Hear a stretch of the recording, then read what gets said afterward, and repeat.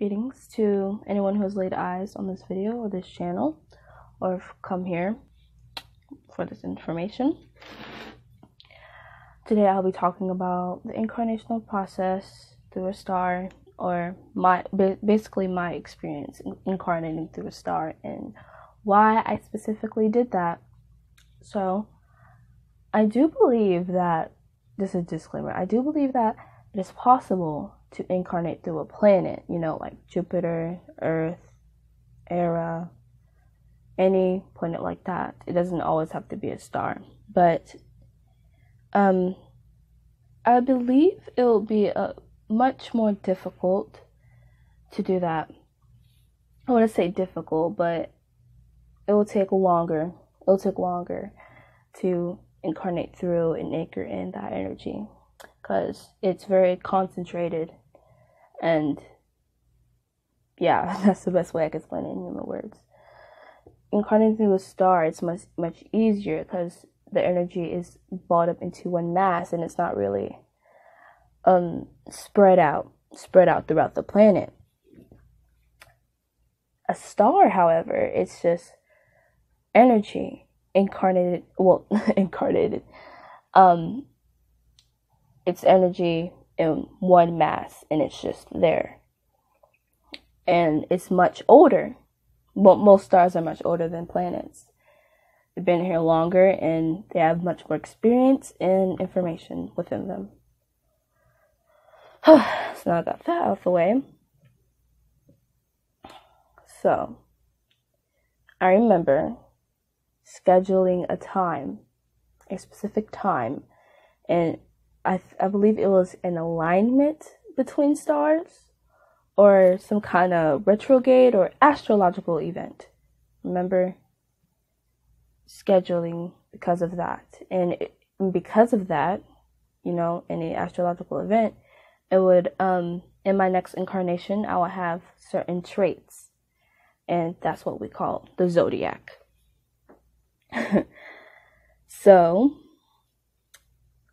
um, I remember laying on this metal or steel type of surface. Um, I seemed a little stiff, but not too stiff. It it was I was aware and I was still awake, so I wasn't completely, you know, shut down, calm. They telepath- telepathically told me what to expect, what's going to happen, and the people they were looking down at me so i'm sure that i i was laying down. There was um a pleiadian female and a other pleiadian male but they didn't look like me. They had blonde hair blue eyes and light skin and a blue suit. And then um i believe some of my friends that came from the same planet as i did they looked like me and you can find out what i looked like back um my other video before this one. So we weren't using our mouths or my or our throat chakra.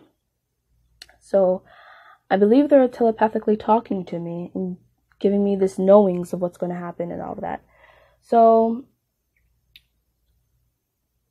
they pulled me out of my body and I remember traveling to a huge white star, white star, um, which is Alcyone.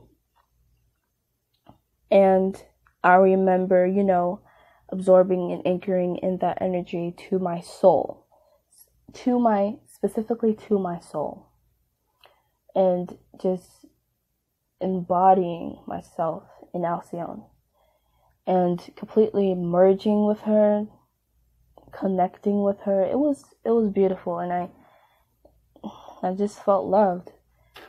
So after that, I remember a female voice telling me what's going to happen next and then you know how in Star Wars where they do a hyper jump it was like that but it was white and it was like these diamond re- reflections and this sound it sounded like a sound bowl but really really loud um excuse me And yeah, there I am in another body. I can't really, I don't, I can't really explain how she does it, how the star does it, but that's just what I remember in my experience. So I'm going to get in the topic of, well, what, how, a theory, or the best way I could explain on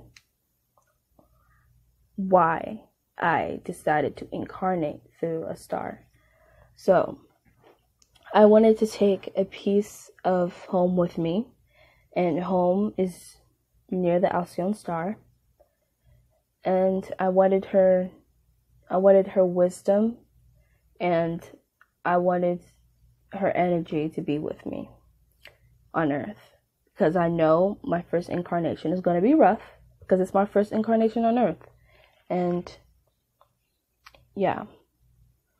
So I can't really give you the specifics of exactly how, you know, like the scientific ex- explanation and the logical explanation.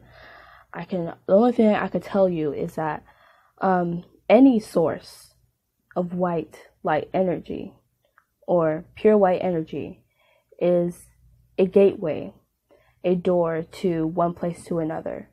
And white light energy vibrates very, very fast, faster than anything I've ever seen. Because of that, not only can you travel through any source of white light, but you can even um, integrate into another body. What I mean by integrate is, you know, incarnate into another body. But you have to have a very powerful, ancient source, which is a star. They've been here for a very long time. Almost almost every star in the in this galaxy is older than any other planet. In my opinion, but almost. I'm not saying every single star, but almost every single. So, I lost my train of thought. Yeah, okay, so any any type of star can be a opening, a portal to one place to another.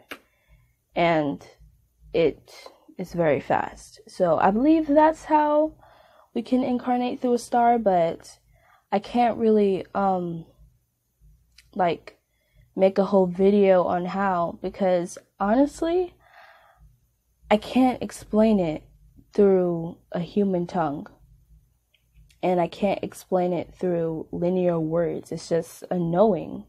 And I can't give that to you over a video on YouTube. Can't send you a down a compilement of information on a YouTube video and then send it to your mind or whatever. I'm not gonna say it's not possible, but I can, I my skills, my psychic abilities are not that powerful. And that's the best way I can explain it.